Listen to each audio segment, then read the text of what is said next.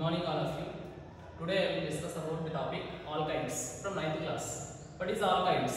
Carbon carbon containing triple bond and its unsaturated hydrocarbon is called alkynes. Carbon carbon containing triple bond and its unsaturated hydrocarbons. Its general formula is CN H2N minus 2. But N is equal to 1 now. C2H2 is a ethyl. N is equal to 2. Propyne, butyne, pentyne and so on. But carbon carbon consisting of triple bonds. One bond is a sigma bond, one sigma bond and uh, remaining two is five bonds. What is a sigma bond? End on end overlapping is called sigma bond. Side by side overlapping is called five bond. Next hybridization is sp hybridization. What is a sp hybridization? The intermixing of one s orbital and one p orbital to form Nu two sp hybrid orbitals. It's called sp hybridization. Bond angle is carbon carbon containing bond length is one point uh, triple bond length is 1.20 angstrom degrees. sp hybridization s character is 50 percent. p character is 50 percent. Shape is linear. Here's a alkynes. Next preparation of alkynes from laboratory method. From calcium carbide. How to prepare calcium carbide? Calcium carbonate or limestone.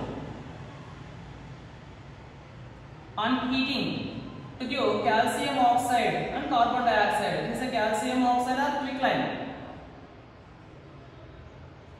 These heating with the coke to give calcium carbide.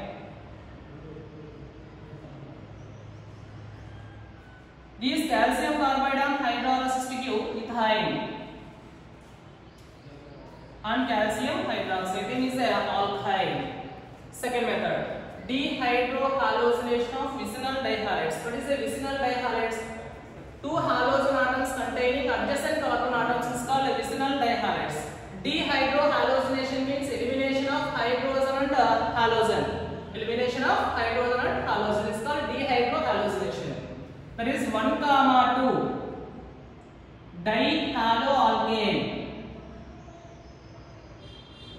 1 comma 2 dihaloalkane and heating with alcoholic potassium hydroxide to give vinyl halide.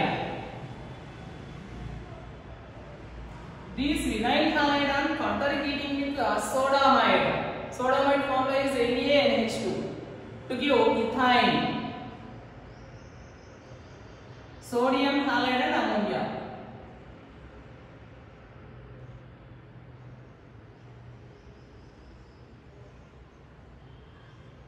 This is a sodium halide. H plus is reacting with NH2 minus to give NH3. Here is a dehyd dehydrohalosynation of vicinal dihalides. Example 1 comma 2 dichloroethene.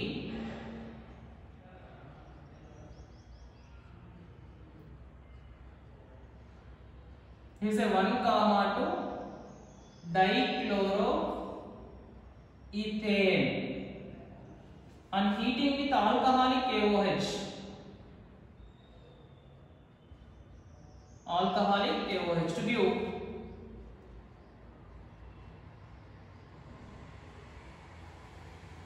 vinyl chloride. Vinyl chloride. These vinyl chloride are heating with sodamide. NaNH2. To give alkyl that is ethyl CH triple bond CH and elimination of sodium chloride and ammonia. Plus NaCl plus NH3 is a dehydrohalosynation next one. Dehalogenation of tetrahaloalkanes. Dehalogenation means elimination of halogens. Elimination of halogens. That is 1 comma 1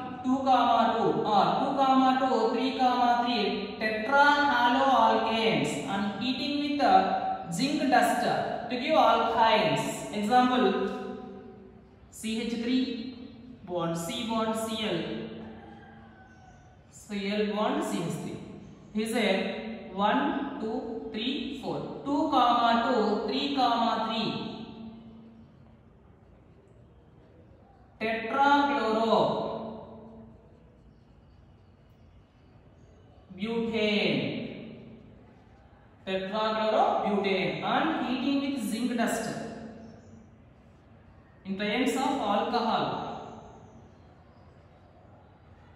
to give 2 moles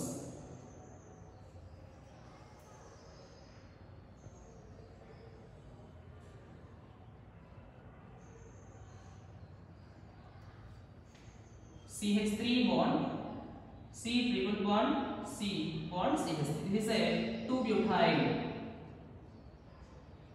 and zinc chloride. Elimination of zinc chloride. This is a dehalogenation. Next, fourth one. By heating of iodoform with silver powder. 2 moles of iodoform and heating with silver powder to give ethyl and silver iodide. This is iodoform. 2 moles of iodoform are heating with silver powder to give ethyl. Next, uh, from methane. Methane is a alkane. Methane on passing through electrical discharge to give ethine and dihydrogen. Ethine and dihydrogen. From coal base electrolysis. Sodium or potassium salts of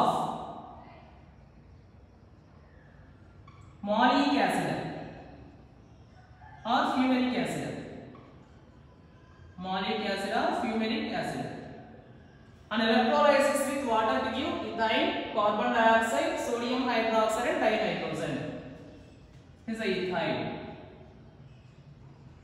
it's called electrolysis base electrolysis Berthollet synthesis coke on hydrogenation at 1200 degrees centigrade in presence of electric arc to give ethyl. Is a preparation of organs. Preparation of organs. Okay, students. Thanks for watching. Tomorrow I will discuss chemical and physical properties of organs.